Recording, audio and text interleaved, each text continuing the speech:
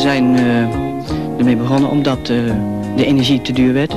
En ook wel een gedeelte hobby zat erin.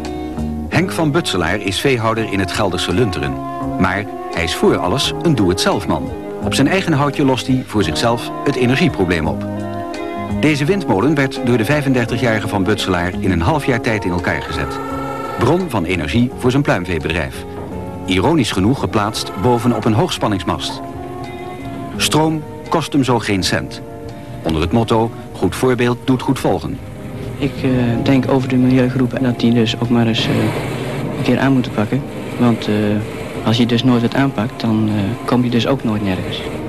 De as van de windmolen is verbonden met een generator die een stroom van 380 volt opwekt. Wat hij niet zelf gebruikt, wordt in het provinciale elektriciteitsnet gestopt.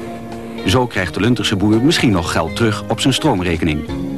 En uh, met die elektriciteit uh, heb ik het licht van in het huis. Ik, uh, de ijskast loopt erop. televisie, radio en verder andere apparatuur ook nog. Elektrisch koken we erop.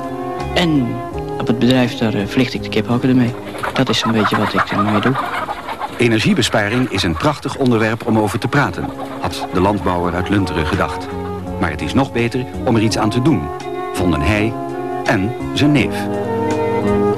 Ik doe het samen met mijn neef. We doen, hebben alles samen gedaan. Als deze klaar is, dan beginnen we aan een windmolen voor hem. Ik zie toch wel de toekomst uh, dat er veel windmolens in Nederland komen. Omdat de energie zo duur wordt. En de wind is altijd nog gratis.